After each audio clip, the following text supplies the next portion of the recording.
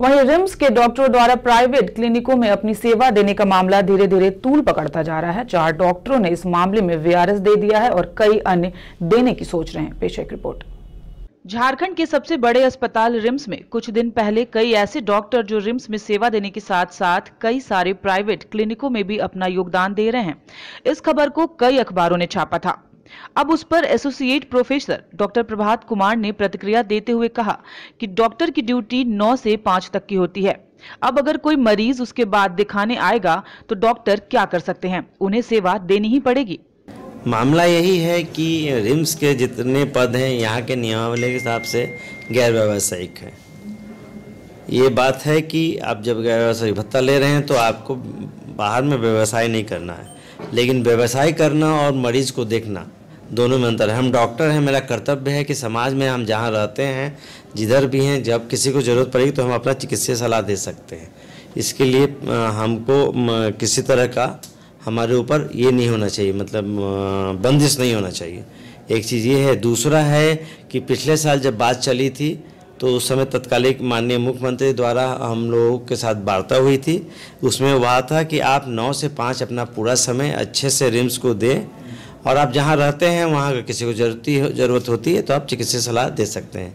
ये हम लोग के लिए एक बहुत बड़ी बात थी कि उन्होंने हमारे बात को समझा कि हम डॉक्टर हैं, हमको डॉक्टरी करना है तो हम, जब मेरा यहाँ कार्य अवधि है और डॉक्टर 24 घंटे ड्यूटी पर रहता है, उनका कोई कार्य अवधि नहीं होता। है ये भी गलत फहमी फैलाया जा रहा है कि हमारा नौ से पाँच है। हर समय हम, हर जगह, इवन आप भी देखे हुए कहीं सफ़र में भी जाते हैं, वहाँ कोई डॉक्टर रहता है, उसको ज़रूरत पड़ती तो वो इमरजेंसी में सेवा देता है। तो हमारा ये कहना है कि हमको इस तरह के बंधन से मुक्त किया जाए। हमको आप जो एनपीए देते हैं, उसको ऑप्शनल बनाया जाए ताकि आप जिनको एकदम नहीं प्रैक्टिस करना, कुछ लोग ऐसे हैं जो एकदम बाहर भी शायद पेशेंट नहीं देखते होंगे, घर पर भी नहीं देखते होंगे, अपने पास पड़ोस में भी देखते होंगे। तो वो लोग अपना ऑप्शनल एन लेकर रहें। बाकी अगर कोई एनपीए लेते हैं तो उनको कार्य अवधि के बाकी समय में सेवा देने का मौका मिले। जो एनपीए नहीं लेते हैं उन लोगों को और जो एनपीए लेते हैं तो उनके लिए तो बस वही रहेगा कि अगर किसी को इमरजेंसी में ज़रूरत हुई तो आप मदद कीजिए। वहीं रिम्स के निदेशक डॉक्टर डी के सिंह ने कहा कि हाईकोर्ट मॉनिटर है। यह मामला कोर्ट में है और इस पर कुछ भी बोलना ठीक नहीं। अगर कहीं भी यह खबर छापी गई है तो इसकी जानकारी सरकार को होगी। इसके लिए एक कमेटी भी बनाई गई है। ये हाईकोर्ट मॉनिटर्ड बात है और हमें बिल्कुल पता नहीं है कि कोई छापा पड़ भी रहा है या नहीं हो रहा है।